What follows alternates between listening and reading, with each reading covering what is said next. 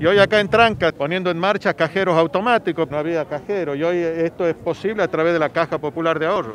Y esto creo que son los grandes desafíos que tenemos, ¿no? De sumar esfuerzos, de trabajar juntos.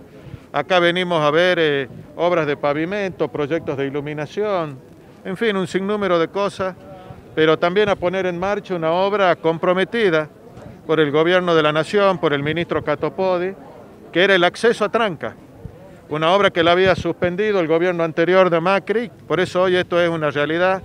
Se acaba de firmar el contrato de obra y así que en los próximos 15, 20 días empieza la obra y tiene una duración de, un año. Y con la presencia hoy de Daniel Arroyo, conversando con los productores, visitando la, fábrica de, de, leche que hay acá, de la oberita, y viendo de qué manera podemos aumentar el volumen para que esto genere más trabajo un honor acompañar al gobernador en una obra tan importante. He recorrido mucho el país, me doy cuenta de las obras que realmente transforman la vida de un pueblo, es indudable, lo hablábamos hoy con el vicegobernador, que se inicia una obra significativa que tiene que ver con el ingreso a Trancas.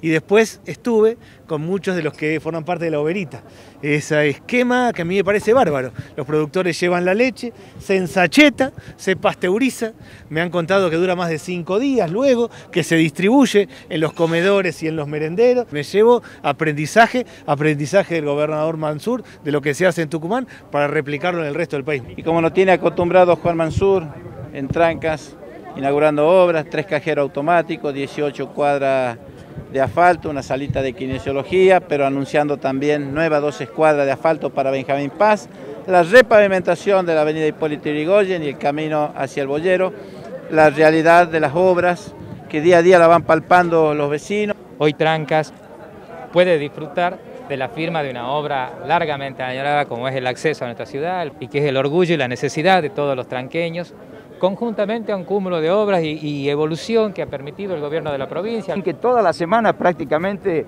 tenemos un ministro nacional acompañando la gestión del gobernador Juan Mansur. Bueno, esto es federalismo, este es un federalismo que por ahí muchos hablaban y poco practicaban. Hoy con hechos concretos y la única verdad, la realidad, hoy estamos viendo obras concretas a lo largo y a lo ancho de la provincia de Tucumán.